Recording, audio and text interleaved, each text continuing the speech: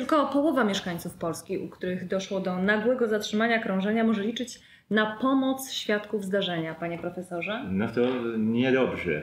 W Czechach, w krajach skandynawskich około 80% społeczeństwa gotowych do przyjścia z pomocą. Dlatego właśnie Uniwersytet Medyczny we Wrocławiu rozpoczął akcję edukacyjną Porusz serce.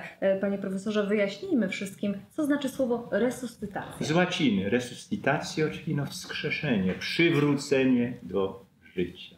Nagłe zatrzymanie krążenia objawia się utratą przytomności, brakiem tętna i oddechu, e, który jest właśnie ten oddech może być niewydolny. W większości przypadków jego przyczyną są schorzenia serca, a do czynników ryzyka należą m.in. problemy wieńcowe, nadciśnienie tętnicze, cukrzyca, zaburzenia elektrolitowe czy niezdrowy tryb życia, jak e, otyłość albo e, palenie. Panie profesorze, czy przeżył Pan taką sytuację? Tak, dwa razy w towarzystwie. Nagle osunął się nam znajomy i przyznam się Pani, żeśmy wszyscy byli bezradni w tym momencie. Zupełna bezradność.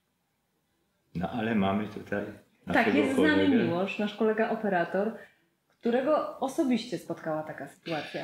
No ja miałem bardzo dużo szczęścia, gdyż moi synowie wiedzieli, jak się zachować w takiej sytuacji, gdyż ja miałem przypadek zatrzymania akcji serca i prawda jest taka, że gdyby nie oni, no to bym tutaj z Państwem nie rozmawiał. Ta cała sytuacja spotkała mnie dokładnie rok temu i jestem bardzo wdzięczny swoim chłopakom, 16 i 18-latkowi, że sobie w tej bardzo trudnej sytuacji poradzili.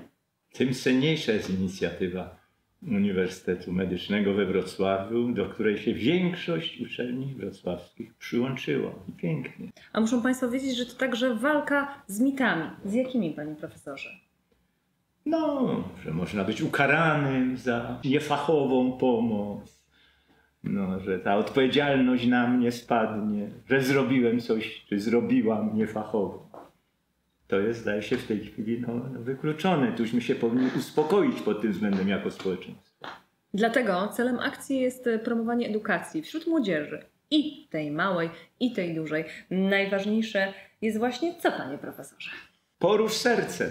Ty też możesz uratować komuś życie. Pamiętajcie, najważniejszy jest adres www.poruszserceumw.edu.pl